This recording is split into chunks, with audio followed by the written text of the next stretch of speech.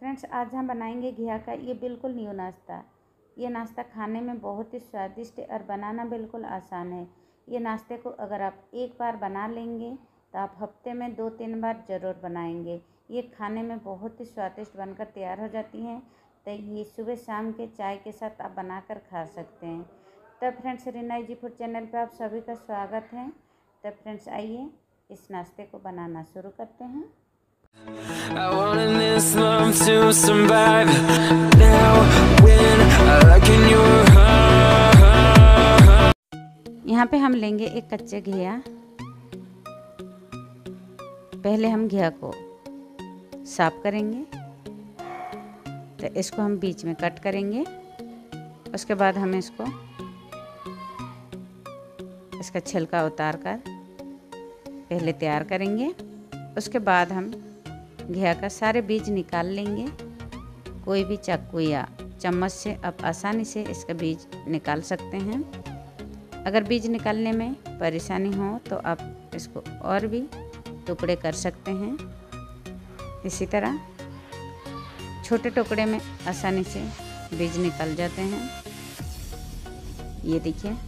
इसी तरह सारे बीज निकालने के बाद हम इनको उबाल लेंगे। तो पहले हम बीज निकाल कर इनको तैयार करते हैं। तो यहाँ पे सारे घिया का बीज निकल चुकी हैं। आप देख सकते हैं, ये उबलने के लिए बिल्कुल तैयार हैं। तो फ्रेंड्स आइए अभी हम चलते हैं गैस की तरफ़। यहाँ पे मैंने पानी पहले ही गर्म होने के लिए रखा था और यहाँ पे पानी अच्छे से गर्म हो चुकी हैं। अभी हम क्या करेंगे, पानी में आधी चम्मच नमक डालेंगे। और ये जो हम घिया तैयार करके रखे हैं, इनको गर्म पानी के अंदर डाल देंगे और दो से तीन मिनट तक इनको उबाल लेंगे। और ये दो तीन मिनट में अच्छे से तैयार हो जाते हैं। इनको हमें ज़्यादा उबालने की ज़रूरत नहीं है। इनको बस 50 परसेंट ही उबालेंगे। इससे ज़्यादा अगर हम उबालेंगे तो ये बिल्कुल सॉफ्ट हो जाते हैं और नाश्ता अच्छे से बनकर तैयार नहीं होती है। तो इनको अभी हम पानी में से निकाल लेंगे और ठंडा पानी में डाल देंगे। और जब तक ये ठंडा हो रहे हम इधर स्टफिंग तैयार कर लेते हैं। तो यहाँ पे हम एक कढ़ाई लेंगे। कढ़ाई में एक बड़ी चम्मच ऑयल डालेंगे। और तड़के में हम जीरा, मेथी सौंप कलौंजी, ये सारे चीज़ में हम तड़का लगा लेते हैं। तो अभी हम बारीक कटी हुई लहसुन और हरी मिर्च और अदरक डालेंगे। और यहाँ पे तड़का बिल्कुल तैयार है। तो अभी हम लेंगे बारीक कटी हुई प्याज। और प्याज को भी हम हल्का सा रोस्ट करेंगे। और साथ साथ यहाँ पे लेंगे कढ़ी पत्ता। कढ़ी पत्ता को भी हम काट कर डालेंगे। और यहाँ पे हमारे तड़का बिल्कुल तैयार है। तो अभी हम क्या करेंगे? यहाँ पे हम लेंगे एक टमाटर उसको बारीक काट कर लेंगे। और अच्छे से प्याज के साथ मिक्स करेंगे। तो यहाँ पे टमाटर के साथ साथ यहाँ पे लेंगे नमक। नमक डालने से टमाटर जल्दी सॉफ्ट हो जाते हैं। तो नमक के साथ साथ यहाँ पे सारे सूखे मसाले लेंगे।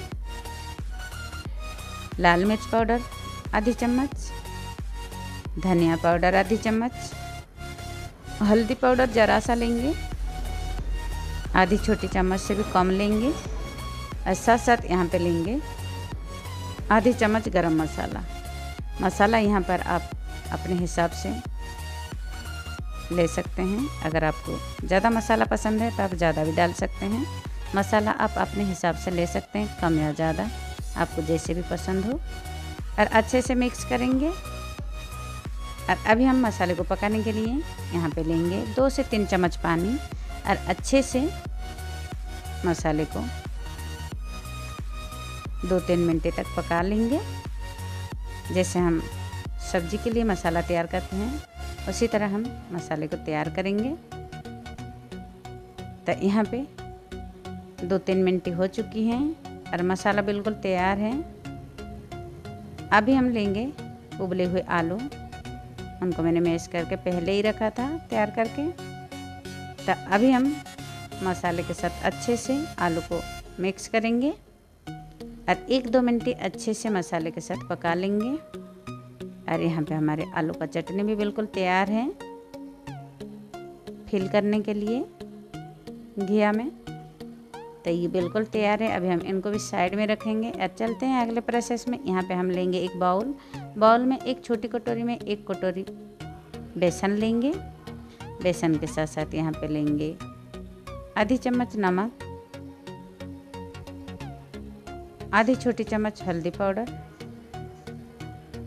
आधी छोटी चम्मच लाल मिर्च पाउडर, आधी छोटी चम्मच धनिया पाउडर, आधी छोटी चम्मच गरम मसाला। मसाला आप अपने हिसाब से कम ज़्यादा कर सकते हैं और अच्छे से बेसन के साथ मिक्स करेंगे।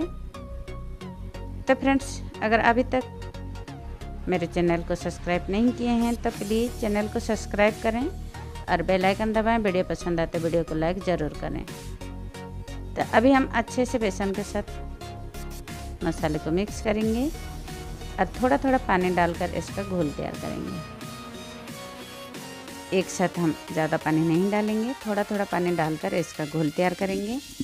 यहाँ पे हमें घोल को ना ज़्यादा पतला करना है, ना ज़्यादा गाढ़ा रखना है। इसी तरह घुल होना चाहिए। तो अभी हम इसको भी साइड में रखेंगे और यहाँ पे लेंगे ये आलू का चटनी, जो हम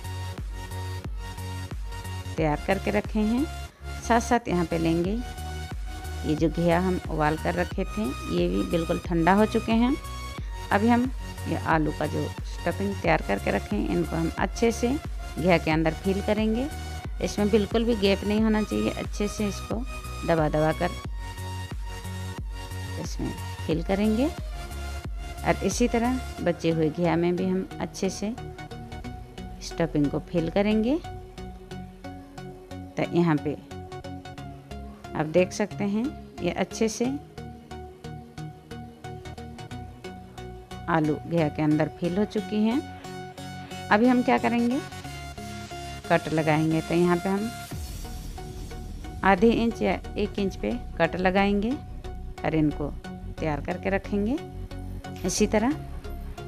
उसके बाद हम क्या करेंगे? बेसन में डीप करेंगे और इनको फ्राई करेंगे। तो यहाँ पे मैंने आपको और एक सिगरेट बात बताऊँगी, जो कि ये नाश्ता में और भी चार चाँद लगा देती हैं। तो यहाँ पे हमें मैं आपको। एक इसमें से पीस उठाती हूँ और इसी तरह हम बेसन में डीप करेंगे सबसे पहले। तो यहाँ पे मेरी सीक्रेट बात ये है कि यहाँ पे मैंने ली हूँ ये ब्रेड का बुरादा। मैंने ब्रेड का ये जो ब्राउन पार्ट है उसको मिक्सर ग्राइंडर में पीस कर तैयार करके रखा था। और इसमें अभी हम डिप करेंगे। और यहाँ पे बिल्कुल तैयार है ये फ्राई होने के लिए। इसी तरह करने से ये नाश्ते में और भी ज़्यादा टेस्ट आता है। ये ऊपर से बिल्कुल क्रिस्पी और अंदर से बिल्कुल सॉफ्ट बनकर तैयार होती हैं। तो इसी तरह सारे नाश्ते को तैयार करेंगे, उसके बाद हम फ्राई करेंगे। तो यहाँ पे हम चलते हैं फ्राई करने के प्रोसेस में। यहाँ पे ऑयल मैंने पहले ही गर्म होने के लिए रखा था और यहाँ पे ऑयल अच्छे से गर्म हो चुकी है। अभी हम इन नाश्ते को फ्राई करेंगे। तो यहाँ पे तीन से चार। हम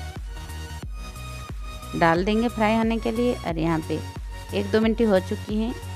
एक साइड से ये हल्का कलर चेंज हो चुकी है। अभी हम इनको पलट देंगे।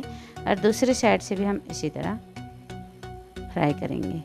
तो इनको फ्राई करते टाइम हम गैस को मीडियम फ्लेम पर रखेंगे। और ये फ्राई होने के लिए तीन से चार मिनट लगते हैं। ये अच्छे से फ्राई होने के लिए। तो यहाँ पे ये नाश्ता फ्राई हो चुके हैं, आप देख सकते हैं। ये ऊपर से कितना बढ़िया क्रिस्पी बनकर तैयार हो चुके हैं। और कितना बढ़िया कलर आया है इस नाश्ते में। और ये आप देख सकते हैं देख कर ये अंदाज़ा लगा सकते हैं कि ये नाश्ता कितने बढ़िया बनकर तैयार हो चुके हैं। ये आप सुबह शाम के नाश्ते में भी बना सकते हैं चाय के साथ। ये खाने में बहुत ही स्वादिष्ट है। अगर आप एक बार बनाएँगे तो आप हफ़्ते में दो बार ज़रूर बनाएँगे ये नाश्ता। बहुत ही टेस्टी नाश्ता है। तो फ्रेंड्स, आप सभी को मेरा निवेदन है, अगर अभी तक चैनल को सब्सक्राइब नहीं किए हैं तो प्लीज़ चैनल को सब्सक्राइब करें और बेल आइकन दबाएँ। वीडियो पसंद आए तो वीडियो को लाइक ज़रूर करें। तो फ्रेंड्स, फिर मिलते हैं और एक नई वीडियो के साथ। तब तक के लिए बाय।